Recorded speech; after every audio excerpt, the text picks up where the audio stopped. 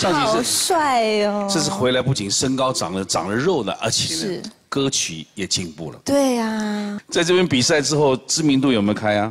有在成田机场也被认出来，他红到国外去了。对，在日本的成田机场也被。我知道成田机场就是日本。日本啊。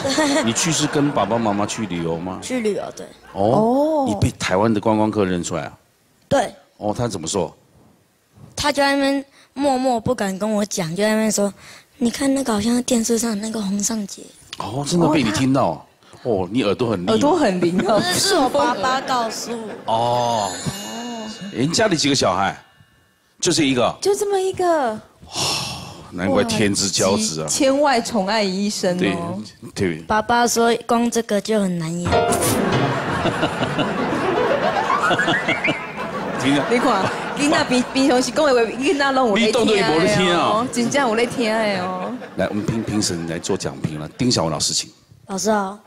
今天这个歌呢，还是就是尚杰很喜欢那种有一点点港欧溃靠的，对不对？好，可以挥洒开来的。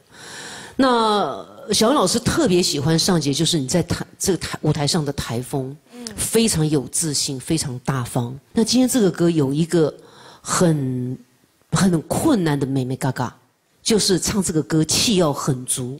但是相对呢，因为气很足，有的时候每一句哦都有点心多虾啦，有没有？都是你的错，轻易爱上我，大哇，每一句都这么用力，有一点太吓人了。哈，我们唱歌是要有力度，力度跟大声不一样哦。哦，这个要慢慢去体会。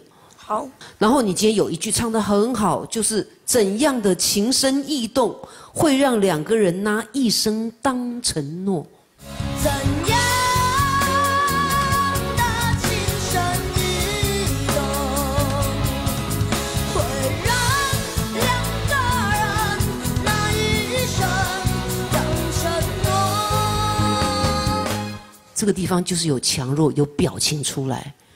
你如果其他的段落都像这一句唱的话，就很棒棒，好吗？好，好，回去看播出，加油！李老师，月亮惹的祸到底能获得几分？评审请给分。